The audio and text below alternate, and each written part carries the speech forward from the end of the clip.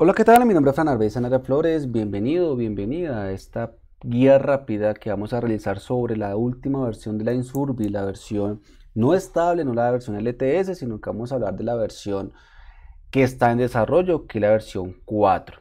¿Listo? Entonces, bueno, no sin antes recordarte que si te han gustado nuestros videos, no solo pides suscribirte a nuestro canal, pues para tener las noticias de software libre que podamos lanzar en, el mismo, ¿no?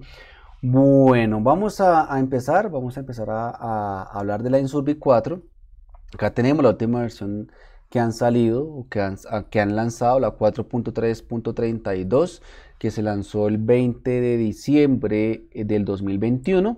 Entonces, en cambio, con la versión LTS, cabe resaltar y recalco mucho el tema, que si tienes un entorno productivo crítico que utilices para realizar encuestas, caracterizaciones, captura de información de cualquier tipo, eh, utiliza la versión LTS que la versión 3. ¿Listo? No utiliza la versión 4, utiliza la versión 4 si eres entusiasta, si no tienes encuestas críticas que manejar, porque esto, pues esta versión todavía se encuentra pues en sus en sus revisiones constantemente. A diferencia de la, de la versión 3, la versión 4 saca entre 2, 3 parches de, de, actualizaciones al mes. En cambio, la versión 3, que es la, la LTS, la Long Term Support, esa ya pues recibe un parche de mejoras, un parche de seguridad al mes más o menos. Entonces, esto es más que todo una, una versión para entusiastas. Eh, no puedo decir que está en una fase alfa, no, porque hace mucho tiempo se pasó por esa parte, una fase beta tampoco, sino que es una fase en donde ya está al público, pero todavía no se recomienda para, para entornos con críticos, como te lo menciono. Bueno, acá tenemos la interfaz de la Insurbi, la realmente la he modificado un poco de acuerdo a mis propios gustos. Realmente, como sabrás, bueno, si no sabes qué es la Insurbi, antes de continuar, la Insurbi es un software open source o libre, de software libre, desarrollado por una casa alemana, eh, la cual se encarga de realizar captura de información, encuestas, evaluaciones, calificaciones, bueno, una cantidad de, una cantidad de, posibilidades que te lo permite hacer. Realmente nosotros con la Insurbi el límite no los hemos puesto nosotros, Hemos realizado registro de proveedores, ingreso de personal, entonces que cuando una persona ingresa a la compañía, registra el formulario en la Insurbi, la Insurbi automáticamente genera un PDF y se lo envía a la persona de recursos humanos con los datos que ingresó la persona, etc. Entonces, eso está la capacidad de la Insurbi. Obviamente no podemos entrar a comparar la Insurbi con Microsoft Forms, con Google Forms, eh, porque pues son encuestas. Es, la plataforma de la se ha enfocado a un nivel de encuesta empresarial un poco más complejas. En cambio, Microsoft Forms y Google Forms pues, están enfocados a, realizar captura de información o encuestas mucho más sencillas. Cuando hablamos de lógicas, hablamos de complejidades, esto, cálculos, etc. La Insurbi es una excelente alternativa y la competencia que podemos decir, hey, es competencia la Insurbi, realmente es Survey, Survey Monkey y Gizmo Survey. ¿Listo? Bueno, esa pequeña introducción la que te quería dar con respecto a la Insurbi si no sabes qué es. Pero si ya sabes, sabrás que pues esta modificación la hacemos directamente desde la, desde la configuración global. Si vienes desde la versión 2. antes de la 2.6, eh, vas a ver que realmente el cambio de la interfaz es notable. Si vienes una versión de la 1 o algo por el estilo, eh, vas a notar que pues la interfaz de la Insurbi cambia de forma notable, realmente se cambian muchas cosas entre una versión y la otra. En esta versión cambiaron el editor HTML, es un nuevo editor que pues a nivel de back office sí lo he notado un poco más lento, se me demora un poco más en cargar, esas son las cosas como que yo he visto que no, que no han mejorado, o sea, a la, en comparación a la versión 3, la LTS, pues esta versión está un poco más lento a nivel de back office, aunque están montados en un servidor. Eh, ¿Qué más así que yo pueda caracterizar en esta versión de la Insurbi o, mencionar? Es la integración a nivel de código una cantidad de depuraciones y actualización obviamente de la paquetería que éste utiliza. Bueno, entonces, ¿por dónde empezamos realmente? Empezamos por la parte de configuración. Vamos a empezar por los temas en la parte izquierda. Eh, los temas van a ser lo mismo. Vamos a tener acá un tema que ya hemos extendido Eh, los temas realmente para modificar un tema es exactamente lo mismo, así que si tienes un tema de la Insurbi 3 va a ser 100% compatible con la Insurbi 4 sin ningún tipo de problema. Si lo has manejado, sabrás que puedes modificar el tema como a tu gusto y adaptarlo a tus propias necesidades. Realmente nosotros los temas por defecto que vienen con la Insurbi como ya son adaptados a smartphones, entonces no hay problema, realmente no, no le veo ningún inconveniente seguir manejando los mismos temas, solamente le cambia los colores, la ubicación y una que otro, y una que otro tema o uno que otro bots por ahí. Lo que sí le agregaré me pareció súper interesante fue temas de preguntas que aún siguen en estado de desarrollo. Entonces yo puedo definir qué tipo de temas le voy a aplicar a una pregunta, un tipo de pregunta. Ah, que es que yo quiero, cuando sea preguntas array, no quiero que me muestre los bordes de las preguntas array.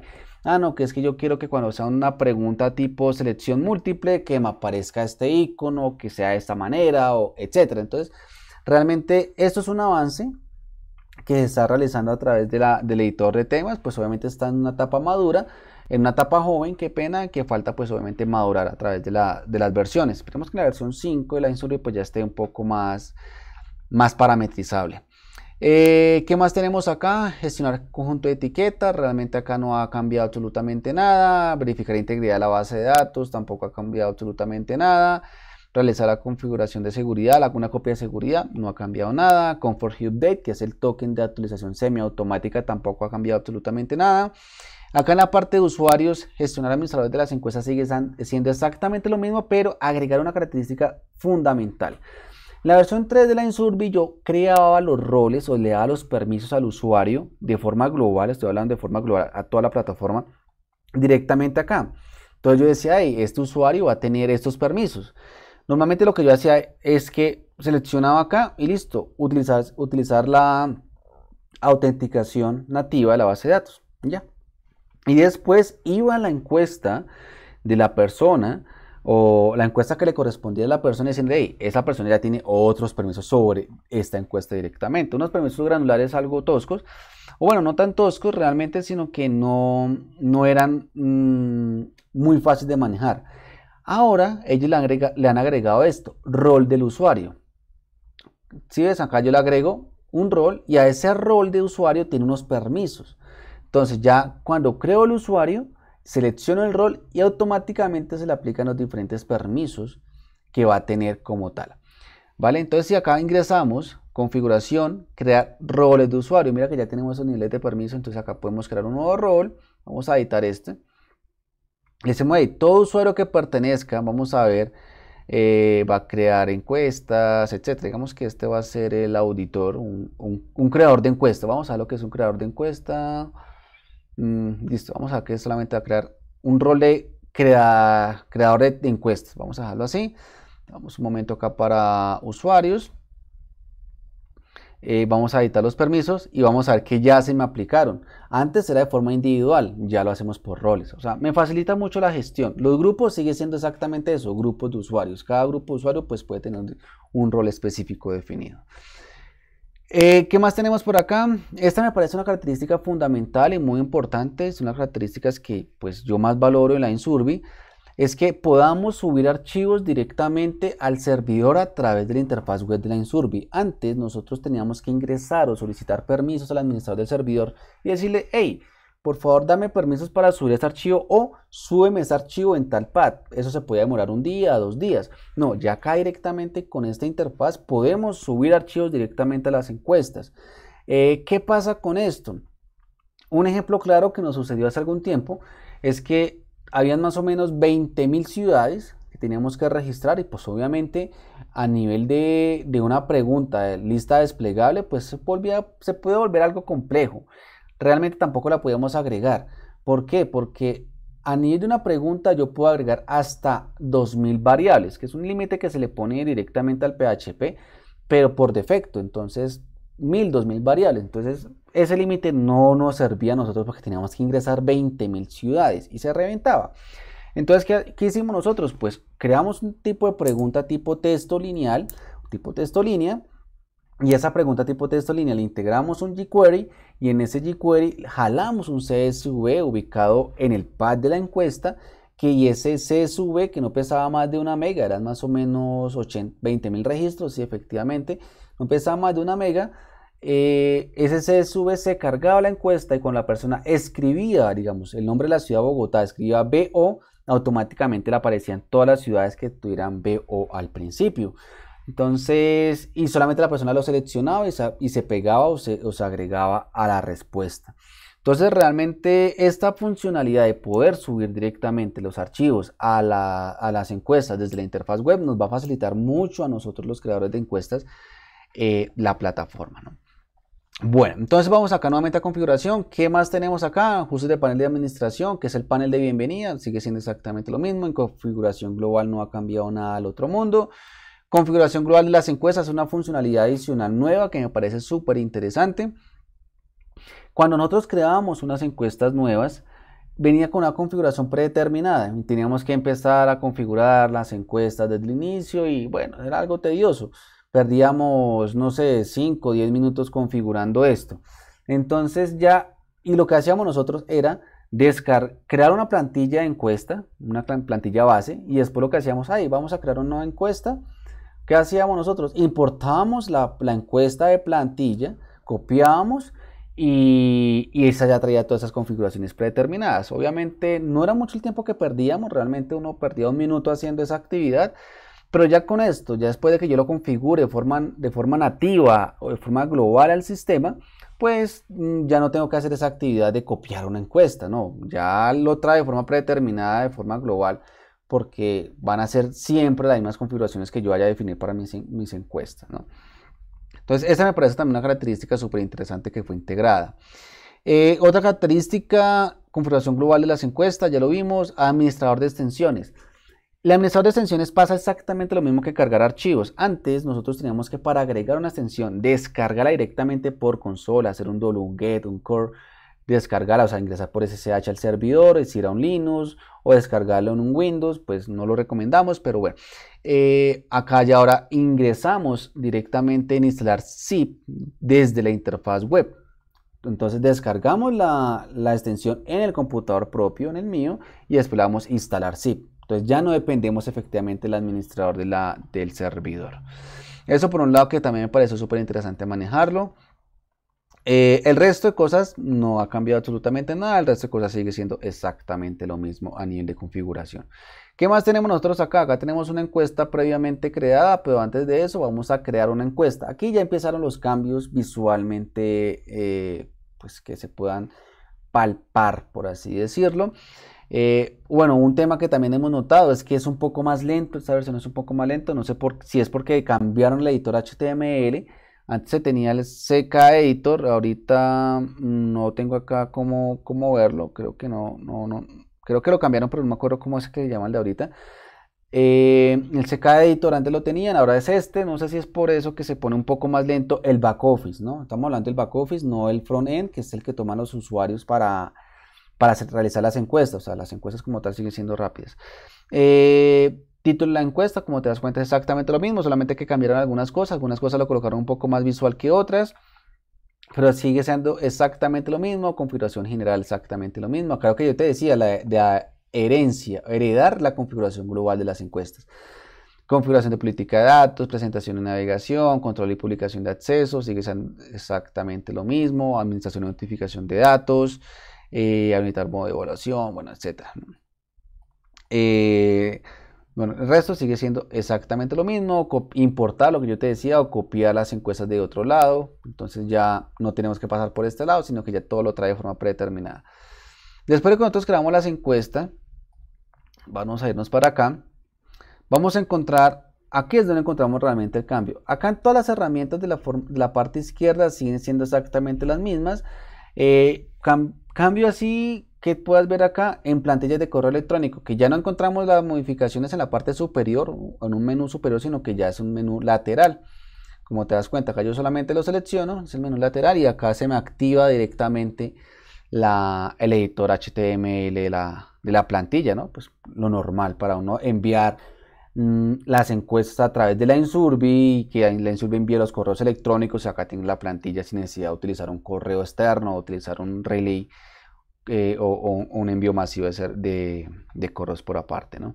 Entonces, eso fue así a, grandes rasgos que se puede evidenciar acá en la parte izquierda. Realmente había un request, no recuerdo muy bien, que era, hey, permítenos modificar el correo electrónico por cada encuesta de forma eh, independiente. Entonces, la idea es que a través de la insurbia, a través de las encuestas, yo diga, hey, yo acá quiero tener que esta encuesta se envíe a través de este correo electrónico. Es un request que está, esperemos que sea implementado, pues ojalá lo más pronto posible, eh, pero sé que está. ¿Por qué? Porque recuerda que actualmente al enviar las encuestas a través de correo electrónico utilizando la Insurbi, él utiliza el correo que tenga configurado yo acá en la configuración global.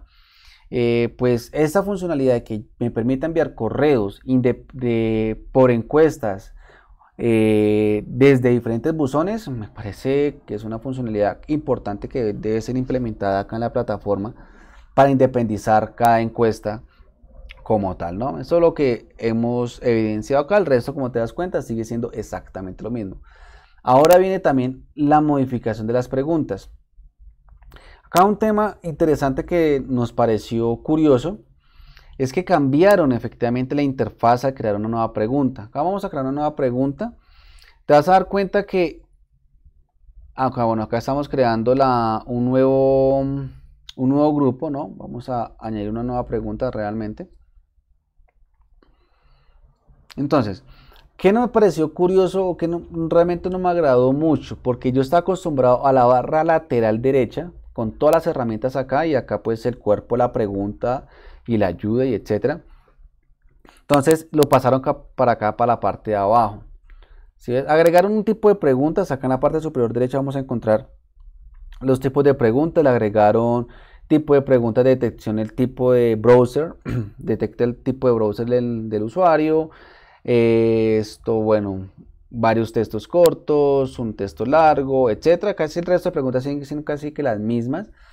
Eh, agregaron, como te das cuenta, tipo de... Mm, ¿De qué? De...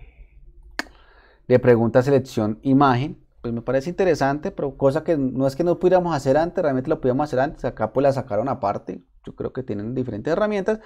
Pero eso sigue siendo exactamente lo mismo. Vamos a seleccionar la clásica. Como te das cuenta, faltan muchos temas por ser traducidos aún al español. Y listo, acá estamos.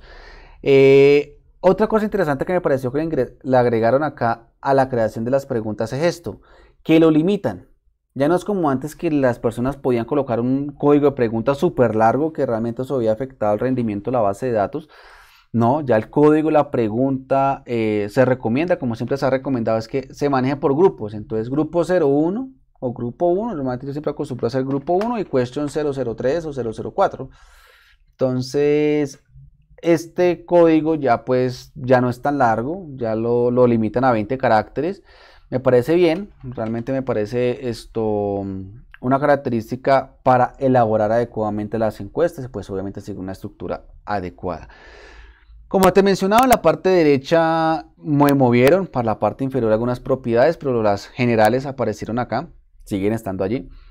Y esta me parece interesante esta parte, encriptado, cifrado de la respuesta o la pregunta. Antes, nosotros realmente no teníamos una protección de datos eh, como lo tenemos hoy en día. Antes solamente teníamos nosotros solamente un cumplimiento de la GPRD, que es la Política de Protección de, Datos Europea, eh, que era esto. Hey, si esta es mi política de protección de datos, ¿quieres continuar? Sí, no, ya, pero listo, eso era todo. Pero tenía que cifrar, la GPRD me obligaba a a cifrar las respuestas eh, o la información almacenada en la base de datos en los servidores de los usuarios o los servidores de las empresas. Antes, en la versión 3. en la LTS, la versión anterior, no se tiene esto, no se tiene esa protección de cifrado. Yo guardo la respuesta y me la guardo en plano, o sea, me la guardo común y corriente en la, base, en la tabla. Entonces, el administrador de la base de datos puede ingresar y ver las respuestas y modificarlas sin ningún tipo de, problema. Ya con esto, pues obviamente el encriptado, el cifrado, ya se cifra la respuesta al usuario. Y si el administrador de la base de datos ingresa a la tabla donde se encuentran los datos, pues ya no va a ver qué datos ingresó el usuario.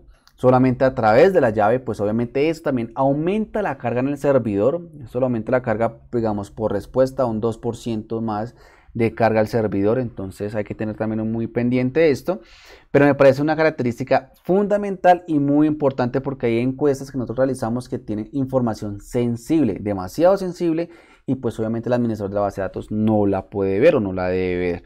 Entonces me parece súper interesante esa opción de cifrado de las respuestas de los usuarios. Como te mencionaba, acá tenemos lo mismo de siempre, eh, las opciones, algunas preguntas se agregaron unas opciones adicionales, la lógica, otro, estadísticas, etcétera. Sigue siendo exactamente lo mismo que las otras, una que otra opción como te mencionaba de la pregunta, eh, que no, pues no es nada al otro mundo tampoco, pero que pues obviamente puedes ir explorando, te invito a que realmente vayas explorando. Recuerda que esto es una guía rápida de lo que estamos haciendo nosotros en este preciso momento. Eh, ¿Qué más tenemos por acá? Vamos a ver si podemos ver un momento la, lógica. Vamos a, ir acá a esta, a esta pregunta.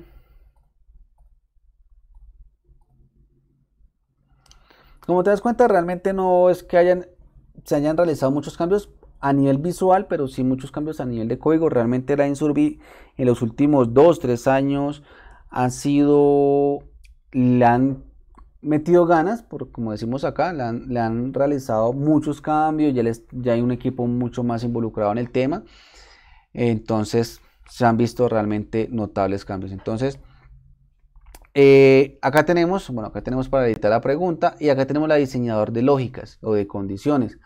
Recuerda que la INSUBI por defecto viene con, con un diseñador de lógicas o condicionales muy simple, que que si arriba respondía esto, que si abajo respondía que, bueno, que si arriba respondía esto, que si selecciona aquello, etcétera, que si es igual a, si es diferente de, unas condiciones muy simples, pero no significa que pues obviamente haya perdido la, la, potencia. Recuerda que a nivel de pregunta, en la parte derecha tenemos expresiones regulares y ahí es donde está la potencia realmente la Insurbi. Cálculos matemáticos, acá lo tenemos, mira validación de entrada, que si cuando ingresen tal dato que aparezca, o una condición, que si las preguntas anteriores dio tal resultado matemático, etcétera, haga esto. Entonces, eso sigue, sigue manejándose de la misma manera, sin un tipo de problema, ¿vale? Entonces, eso, eso es la nueva característica de la Insurbi 4, como te lo mencioné, no sé si te lo mencioné al principio, la Insurbi 4 salió hace algún tiempo ya, creo que ya hace un año. Mm, viene mejorando. Ya estamos eh, pues en la revisión 3 de la Insurbe 4.3. Eh, entonces hay que darle un poco más de tiempo. Yo creo que por ahí unos 3, 4 meses ya deberíamos de tener una solución de la Insurbe 4 un poco más estable la que tenemos actualmente, aunque no digo que no sea estable para trabajo normal, trabajo sencillo, pero sí es, no lo recomiendo todavía para un entorno corporativo de, que requiera estabilidad, ¿no? Bueno, no siendo más, me despido. Recuerda que mi nombre es Fernando Sanabria Flores. Cualquier duda o pregunta que tú que tengas de la solución, puedes contactarnos acá en la caja de comentarios del video o directamente en nuestra página. Te invito a que te unas a nuestro canal de, de, de, Telegram y nos sigas en las redes sociales que la vas a encontrar en la descripción del presente video. No más, me despido. Que pases un excelente día. Hasta pronto.